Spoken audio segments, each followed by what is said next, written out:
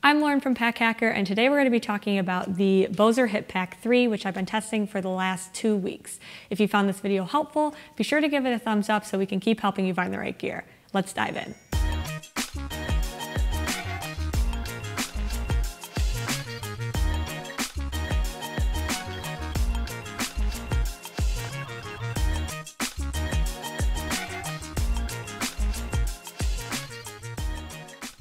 So this hip pack here comes in a couple different sizes. The one we have here is the small, and this is a two liter capacity. So there's a fair amount of space in here for everyday items that you carry, um, and I'll kind of get into how they net out. But one of the more interesting things is this little uh, pouch on the outside here. So this is actually liter independent. So you do have a little bit of space between these two, you know, this main pocket here and this pocket on the outside to fit a fair amount of gear, though it does get a little bit clunky. So uh, just kind of going over the materials here. It's a 600D recycled polyester as well as a Cordura ripstop nylon on this outside pouch here. And this here is like a little bit translucent. You can see my fingers a little bit through it there. So nothing that goes inside, you can really see I do have this, uh, uh, an item in here and you can, I mean, you can tell that the shape is impacted, but in terms of actual like visibility, it is a little bit translucent, but it's not anything where you can see too much. Uh, so those, um, those are pretty solid, had no issues with any of the materials over the course of testing. And then for other uh, materials here, we have Duraflex hardware for these buckles and then YKK zippers. So there's also a uh, DWR finish for a little bit of weather weatherproofing, which comes in handy because you can kind of take this everywhere. So if you, uh, you know, you can use it on a hike or you can use it just for everyday use. Totally up to you and just based off of your preference. Uh, on the outside, there's also this carry handle here. I never really found myself using it just because, you know, these straps don't pack away or anything. So it's not like you would use this as a pouch since these would just dangle. But I guess, it, I mean, it's not bad to have, right? It's pretty low profile on the actual hip pack itself. So it never got in my way. I just didn't find myself, you know, utilizing it all the time. And there is a little bit of you know, an extension here where it would rest against your body. So this is really comfortable to wear. The biggest thing that I found is that with, uh, when I had it on my hip, it, it, was the most comfortable. I mean, it is primarily a hip pack, right? So that's, that's where it's gonna find most of its use and what it's designed to do, but you can use it as a sling. So when it's a hip pack, it, you know, rests pretty easily against your body. The straps are adjustable and then you, you know, have these strap keepers for any additional length. Um, but when you wear it as a, uh, as a sling, you have to kind of decide, I mean, you really only wear it one way, right? So if you have it on your, uh, on your front, for instance, it, the North Face needs this like big logo on the front here needs to face up. Otherwise, it'll be one, upside down and very obvious, and two, um, the, the zippered pocket here will be facing the bottom. So you can really only have it resting one way across your body. And because of um, just logistical things, when you flip it over to your back, you know, say your shoulders here and you flip it this way, it's now on your back facing down. So this is kind of what it would look like with, you know, this main cinched pocket here completely open. And I mean, it cinches pretty tight, so I, I wouldn't say stuff would necessarily fall out. You know, look, that hole's pretty much already closed there. Um, but again, it's just kind of like an awkward aesthetic. So I would say, you know, if you're looking for something that's primarily a hip pack, this is a great option. A sling, you have to be a little bit more conscious of how you're putting it on and which direction it's facing. Um, and in addition, it's, it's a little bit less comfortable. I found it kind of awkward to find a good resting spot, whether it was towards the center of my chest or a little bit lower a little bit higher. On top of that, these uh, buckles here, it's easy for on and off, but I did find adjusting it a little bit tough.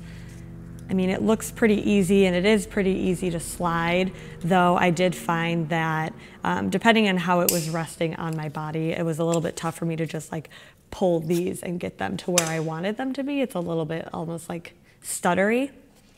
And then with the extra strap here, you know, this, say this is, you know, the size you want it for your waist. um, it's going to have a little bit extra on the sides here just because there is so much length. So you do start to see it. And if these strap keepers slip back because they are a little bit loose, then the extra strap will just start flying around. So it's just little nitpicky things um, in terms of wear and style once it's actually on, but it is a pretty unique looking pack. So um, I will I will get into the inside here. So starting off with this one on the outside, um, like I mentioned, it's a cinch cord here, so you do have a little bit of flexibility with how much you want to pack it out. Um, it's a pretty hefty uh, hefty pocket on the outside. I kept this for mostly like fragile things like a pair of sunglasses or keys or stuff I wanted to get to pretty quickly. Um, you could put a wallet out here too. It feels pretty secure. Um, again, you know, when you have it cinched up like that. And then, so if you wanted to, you know, you pull it as, as taut as possible. And then this little circle on the outside is easy for you to just hold on to and then pull that down and secure it in place. So I thought that was a really nice touch just because, you know, if this wasn't here, then you would be trying to grab like that little, little tiny bit right on the edge there. Uh, and that gets, that gets pretty annoying. So this was uh, nice to have and it just kind of hangs out when it's not in use. Sometimes it'll slide down, sometimes it just kind of moves around, but it's pretty low profile, so I never really noticed it. So again, this pocket here, I can take these sunglasses out and then go into this main compartment. So this is a double zipper, so it's great. You can decide which side you want it on or, you know, have it in the middle and just open it up to get quick access to something right in the center. But this is where I kept most of my other uh, everyday carry items. So in here, it is, it does pack out pretty quick, right? So I have a wallet. I mean, it's not the smallest wallet in the world, but it's also not huge. Um, I have a, a iPhone here and then some snacks. And then there is a key strap as well. So just a little hook. I do have fairly large keys. I know some people might carry only like one or two things at a time. So again, it's kind of up to uh, personal preference and how that ends up netting out for you. But that's just something that I noticed that, uh, you know, once I get this wallet in here, you know, that's a good half of the space. And then the phone. And then keeping flat items worked best uh, just kind of logistically, which I'll get into just kind of how these pockets interact a little bit.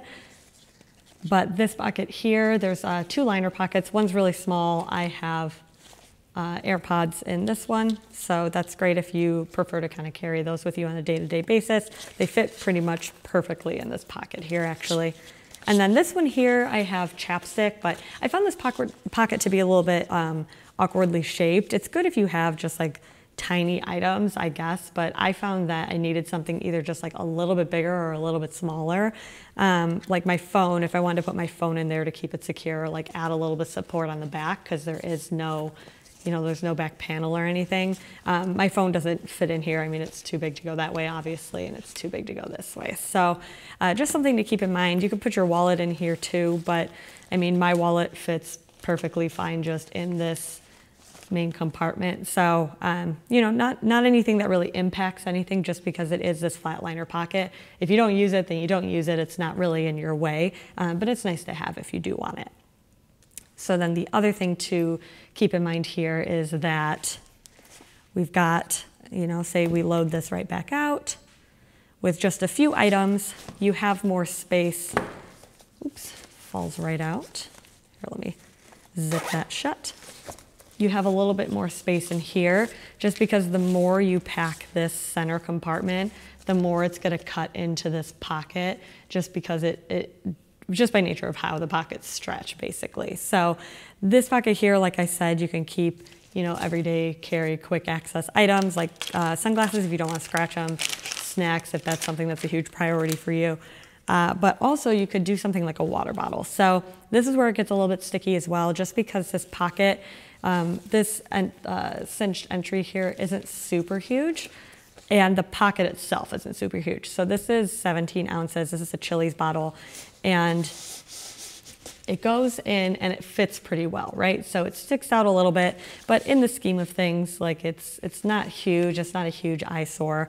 Um, and then you can cinch it tighter and just kind of secure it a little bit if you wanted to, you know, it stays stays pretty much in line, even with like jostling around. So that's something that's really cool for a hike or something like that.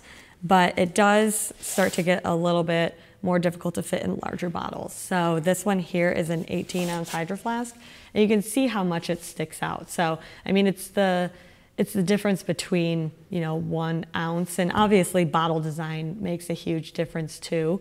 But that's something to keep in mind that whatever bottle you have and is your go-to may not fit super well in this front pocket.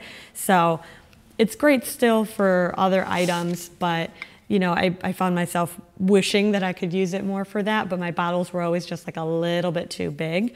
So, I mean, looking at the size difference in these, obviously it's a huge shape thing too, right? If you have something that's a little bit larger but is more shaped like this or more compact, you'll have a little bit of an easier time getting it in there versus something longer and skinnier.